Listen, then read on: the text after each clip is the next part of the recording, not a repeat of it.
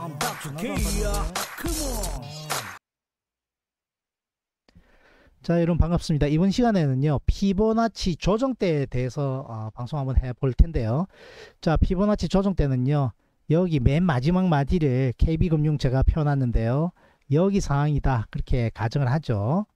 자, 지금 마지막 마디, 이 상승폭에 아, 46,150원에서 53,500원까지 상승했다가 여기 인근 54,400원 인근까지 조정을 받았죠. 그러면 그 추후에 어떠한 주가 흐름을 기대할 수 있느냐? 피보나치 조정대를 아, 적용을 한번 시켜보면 될 텐데요. 결론부터 말씀드리자면요. 조정은 가볍게 받으면 받을수록 추가 상승이 용이하다. 그렇게 말씀드릴 수 있습니다. 자 피보나치 조정대에 대해서 간략하게 먼저 설명을 좀 해보자면요. 지금 상승을 여기서 어, 여기까지 자, 46,150원에서 53,700, 아, 53,500원이니까, 아, 7, 7,400원 가까이 7,350원 상승을 했습니다. 7,350원 상승. 그 폭에 여기는 38.2% 조정을 받은 상황입니다. 38.2% 조정을 받은 가격은 5만 아, 692원 그 밑에 대략 5만원권까지 조정을 받으니 그것은 50%의 조정권 그 밑에 48,900원권 정도는 아, 61.8% 조정을 받은 권역입니다. 자 그러면 조금 전에 말씀드렸다시피 여기 조정을 가볍게 받고 지금 20일 인근에서 아, 반등을 시도하고 있죠. 자 이것이 겹치면 더 좋다 이겁니다.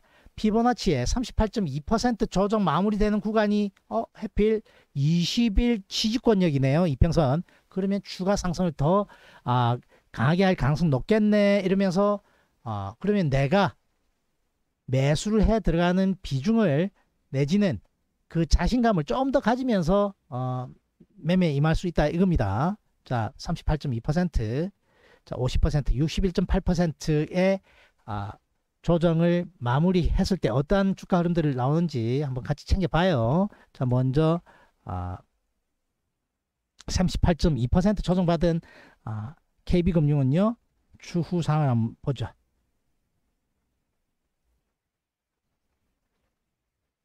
그렇습니다. 조정을 작게 받으니까요.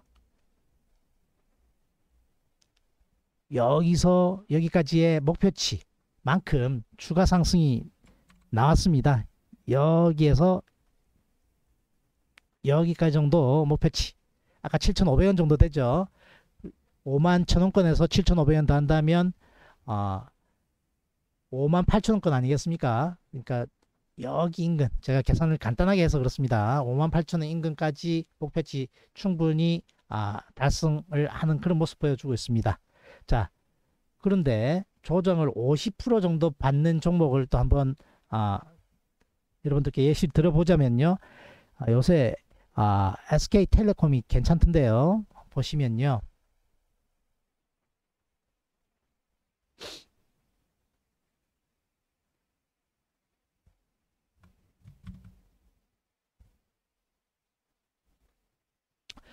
자, SK텔레콤 마지막 아, 이 상승 구간에 여기까지 조정을 보시면 조정이 몇 퍼센트 정도 나왔는가 하면요. 제가 예를 들어 드리려고 찾아보니까요. 50% 정도 조정을 받았습니다.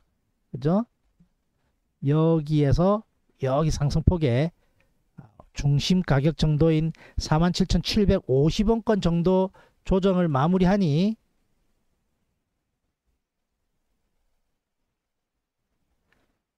이것은 현재 정고점 인근까지 반등을 해낸 그런 상황이죠.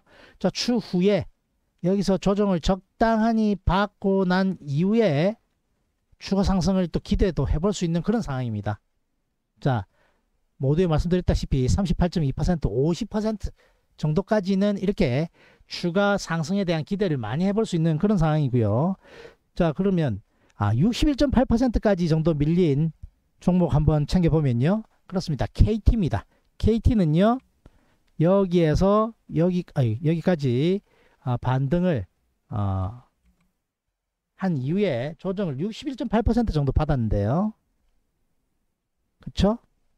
자, 여러분들 나중에 한번 대입을 해보시면 그 조정을 마친 권역 38.2%, 50%, 61.8% 이런 권역에서 딱딱 반등을 하는 경우가 참 많아요. 왜냐하면 메이저들이 이러한 부분들을 많이 참고를 해서 시스템 트레이딩 할 때 로직으로 사용을 많이 하기 때문에 그런 겁니다. 자, 여기 상승폭에 여기부터 여기 상승폭에 이번에는 아, 61.8%까지 지, 저, 아, 조정을 받았고 여기에 60일과 120일에 이평선 지지권이죠. 그러니까 어떻습니까? 또 반등을 해냅니다. 자, 반등을 해냈고 이렇게 반등 이후에 숨고르기를 제법 많이 하고 있죠. 앞전에 382 조정받았던 KB금융이나 어, SK텔레콤 50% 받은 어, K, SK텔레콤보다는 어, KT는 숨고르기가 많이 지금 진행되고 있는 중입니다. 왜? 조정을 좀 많이 받았기 때문에 38.2%까지 아, 38.2%까지 받은 어, KB보다 다시 한번 보죠.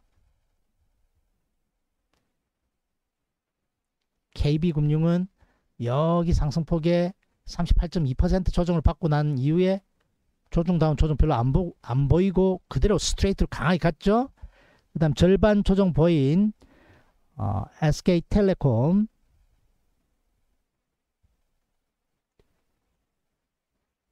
SK텔레콤은 자 조정을 좀 보이긴 했습니다만 비교적 아, 양호하게 정고점 인근까지 강하게 또 반등을 해내죠. 자 그러나 조정을 좀 많이 받은 KT KT는요 조정을 61.8%까지 받아버리니 아, 반등을 하긴 했으나 상당히 아, 조정을 기간 조정을 제법 길게 받고 아, 이제 추가 상승을 아, 하려는 그런 모습 보이고 있습니다. 자, 요점 정리하자면요. 조정은 가벼우면 가벼울수록 좋다. 한 번더 그려 그려 보면서 말씀드리자면 이렇게 상승을 이만큼 어, 했을 때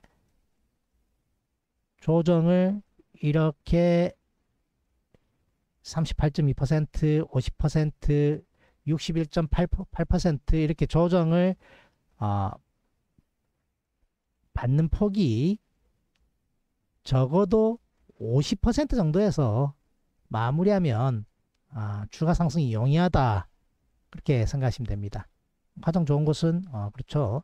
38.2% 조정을 적당히 마무리하는 것이 어, 훨씬 아, 추가 상승 잘 해낸다. 그것이 요점이죠. 자, 여러분들이 흔히 아, 많이 빠진 종목들을 좋아하죠. 특히 이렇게 상승 중에 있는 종목도 아니고 이렇게 상승 중에 있는 종목도 아니고 여기를 만약에 예를, 예시를 들자면 아직까지 이렇게 상승 추세로 여기 이전을 생각을 해보자면요. 아직까지 상승 추세 전환도 되지 않았는데 이런 부위에서 막 쌍바닥 그죠? 이런 부분 저점에서 잡으려고 막 노력하는데요. 그렇게 하지 마시고요. 상승 추세를 전환한 종목 중에서 눌림목 구간 적당하니 조정을 받은 종목 중에 이평선 자 KT 같은 경우에는 그 이전에 별로 좋은 아, 포인트가 없습니다. 여기 정도가 이날 정도가 이제 하락하던 추세 다 돌려냈고 여기 정도 그죠? 자, 눌림목 주는 이러한 구간이 어, 매력적인 구간이다. 그죠? 최근에도 이제 접근해 볼 수 있는 정도의 상황 됐죠. 그렇게 상승 추세 전환 이후에 적당한 눌림목 받았을 때 여러분들 접근해 보시라. 여기서 여기까지 상승폭에 어느 정도 조정받았는지 한번 볼까요? 마지막으로. 그렇습니다. 여기에서 여기까지 상승폭에 어, 절반 정도 지금 조정받은 상황이죠. 그죠? 선이 이렇게 보이시죠?